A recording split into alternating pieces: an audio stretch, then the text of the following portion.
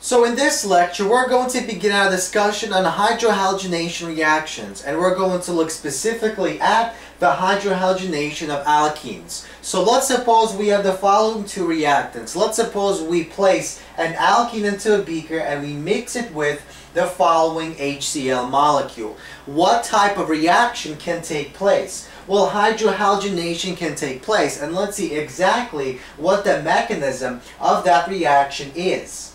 So once again, we begin with our two reactants. We have our pi bond on the alkene, and we have the following molecule. Now, the pi bond, the pair of electrons found in the pi bond, can act as a base taking away this empty 1s orbital of the H atom, leaving these two electrons on the chlorine. So we produce the following carbocation intermediate, in which we have a plus charge on this carbon, so we have a tertiary uh, structure, and our H atom went onto this carbon. So notice that this is a completely symmetrical alkene and that means it does not matter if our H went on this carbon or on the other carbon of the double bond. We would produce the same exact product. So this first step is known as the protonation step. It's the protonation or addition of the H atom onto our um, double bond to form the carbocation intermediate. So notice that this chlorine, in a way, was displaced. Now, in the second step, this step is known as the addition reaction, addition of our chlorine. What happens is, this lone pair of electrons on the chlorine acts as a nucleophile, attacking or capturing the empty 2p orbital of this carbon. Now notice this section of our molecule is planar, and in fact it's rotating. This uh, 2p orbital is rotating up and down. So if these two sides were not the same, we would produce a cis and a trans or E and a Z isomer molecules.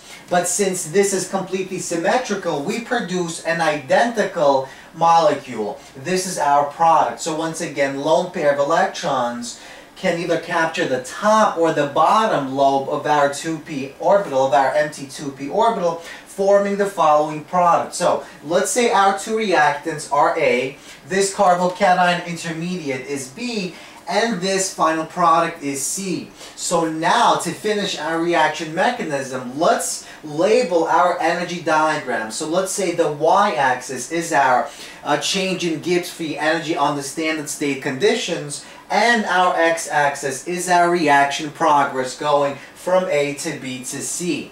So when we go from A to B, our reaction is endothermic. Why? Well, because we create a carbocation intermediate.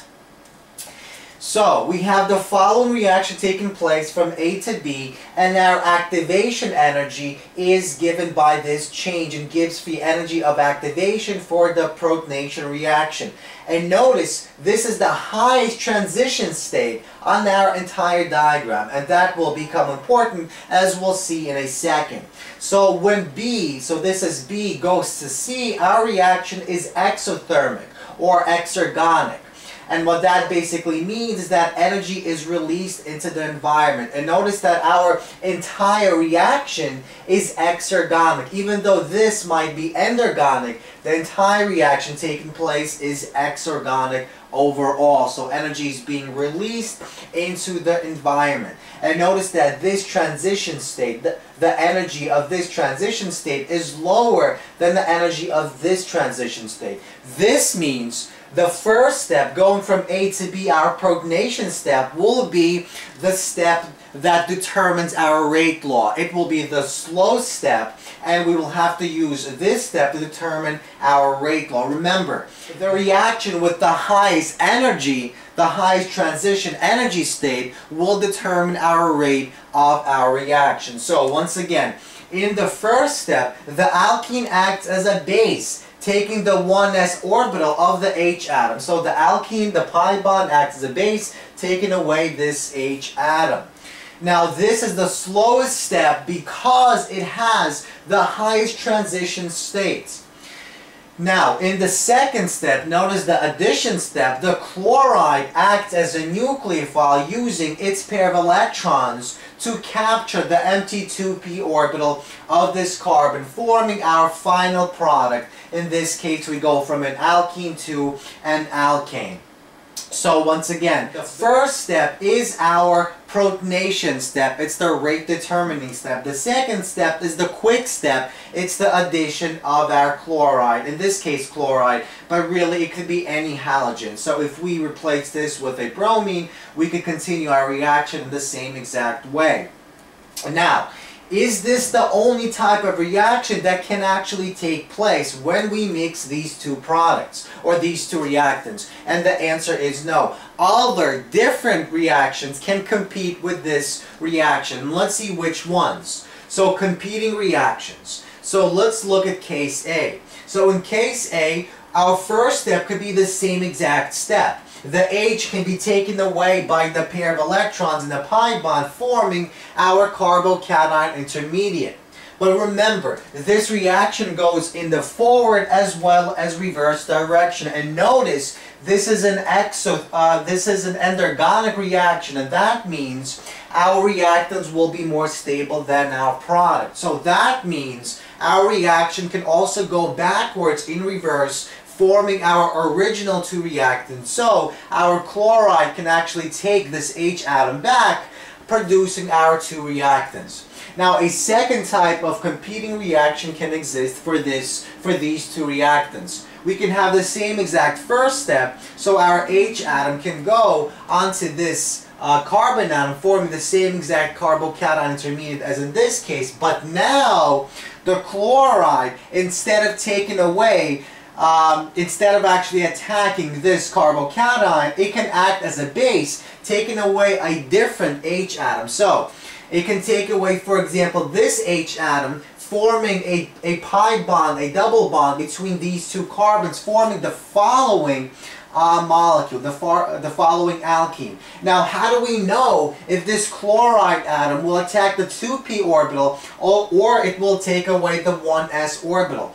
Well, remember definitions of nucleophiles and bases. A nucleophile competes for the 2p orbital while a base competes for the 1s orbital of the H atom. So, to determine which reaction actually takes place, which reaction will be the dominant reaction, we have to examine if this is a very good base or a very good nucleophile. If it's a good nucleophile, it will compete for the 2p orbital forming this product. If instead this is a good base, it will compete to form our alkene. So, this reactant that we spoke about earlier is a symmetrical alkene and that means this first step is the same if the H goes on this carbon or this carbon. Our product form is the same exact product. And in this case we're not going to produce cis or trans isomers because if this carbon, if this lone pair of electrons attacks the top or bottom lobe, it does not matter what we produce, we produce the same exact product. But let's suppose we have a, an asymmetrical alkene.